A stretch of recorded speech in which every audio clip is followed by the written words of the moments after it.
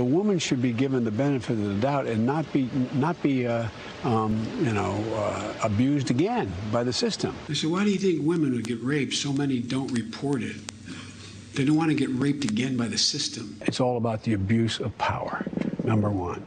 Number two, women should be believed. No one, no man has a right to lay a hand on a woman, no matter what she's wearing, what she does, who she is. Unless you can affirmatively give consent, it's rape. Unless you affirmatively consent, anybody engaged in that behavior is committing a crime. So much has changed about how the public understands the pressure on women. And I've learned a lot as well, too.